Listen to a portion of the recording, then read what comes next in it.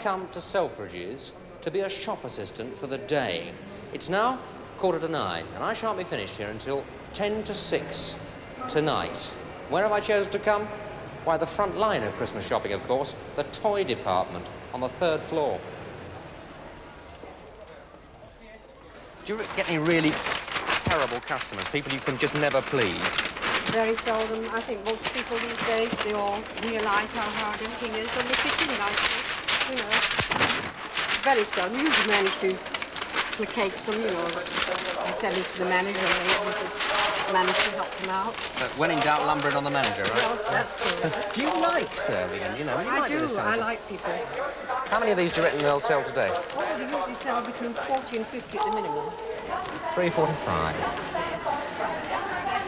Are you paying cash or cheque? Cash. If you'll take that white piece of paper to the cash desk, pay them there, they'll give you a green receipt. Bring it back here and by then I'll have it wrapped for you. Are you just looking or can I help you? You're just looking. If Are you paying by uh, account? Now, if you would go to where it says pay here in the middle there, with that piece of paper, they'll take all the details, give you a receipt, and by then I'll have it wrapped for you.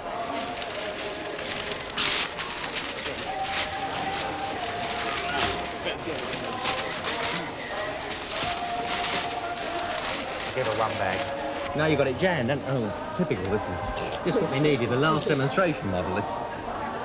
Have you succeeded in breaking it completely? Get off. Can I sell you a football game instead? If you would just take that to the cash desk, bring back the receipt, and by then I'll have the goods wrapped for you. Five pounds thirty-five. Are you paying cash or cash or short? But the cash desk is just round there. If you take that, they'll give you a green receipt, and I'll have it wrapped for you by the time you come back. Well done. It's a, it's a football game. There you are. That's the amazing fact number one. And the idea is that the, the little men are persuaded into kicking the ball by pressing their heads like that. Are we winning? Yeah, I believe there's a lady there. Oh, yes. yes it is. If you will take that, please, madam, just to the cash desk round there, I'll have it wrapped for you by the time you come back. Jolly, keep, hang on to that. There it is. Jolly good. Can I have a Yahtzee? Certainly. It's all right when you know, isn't it? Can I persuade you into another team, such as, say, Skelmersdale United or something? Kitchen games and the bestest games I beg your pardon? and the bestest games. Game. Ask Janet, she'd know. What's the difference in them? Oh, they died. Or they died. They didn't die last year. Anything else, Will? Yeah, I've got a set uh, of different colour players and then what are in the box. I shall never look another football game in the face again. Can I have one of these, please? Yes, indeed. You've got the demonstration Ah, on there, in well, fact. How much are these? These? Uh, I think they're 84. But they're not much good with unless you've got the rest of the game. 30 to 40,000 of you have come into this department this store during this one day.